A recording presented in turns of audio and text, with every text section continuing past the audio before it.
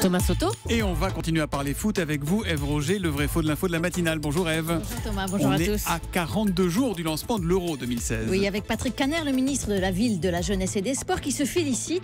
Les visiteurs étrangers ont acheté plus d'un million de billets pour assister au match de l'Euro. C'était sur iTélé. Dire à, nos visiteurs étrangers qui seront très nombreux. Il y a plus euh, d'un million de, billets qui ont été déjà achetés par des visiteurs étrangers.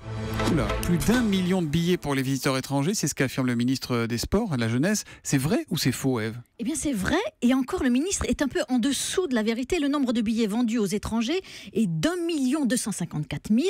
Mais ce que Patrick Caner ne dit pas, c'est que ça représente les deux tiers des billets vendus. Ça veut dire qu'il n'y a qu'un tiers de, de billets pour les spectateurs français? Et oui, c'est ça, au grand désespoir des amateurs de foot ici et à la grande surprise des organisateurs eux-mêmes.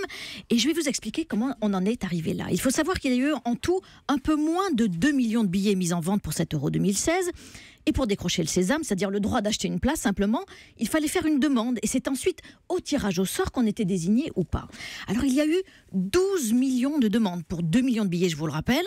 45% venaient de l'étranger, 55% de la France. Donc, les organisateurs ont cru qu'après le tirage au sort, même avec un système de quotas par pays, même après le tirage au sort, on arriverait à moitié-moitié. Une moitié de spectateurs étrangers, une moitié de spectateurs français. Et bien, patatras, contre toute attente, on est arrivé à deux tiers, un tiers, le coup du hasard. Et on sait de, de quelle nationalité ils sont, ces amateurs de foot étrangers qui vont remplir nos stades à partir du mois de juin ou Eh pas bien, Eve? pas précisément. L'UEFA qu'on a joint hier n'a pas su nous le dire. La seule chose que l'on sait, c'est que les demandes étrangères venaient évidemment des pays européens, avec en tête de liste, tenez-vous bien, la Pologne. Alors moi, je suis pas spécialiste de foot. J'ai demandé à Jérôme Lacroix et il m'a confirmé que la Pologne n'avait pas une équipe du tonnerre de Dieu. Hmm, Il reste encore des places à acheter sinon? Alors quelques-unes, mais plus pour les grandes euh, rencontres, vous vous en doutez, sauf une, le match d'ouverture France-Roumanie le 10 juin au Stade de France.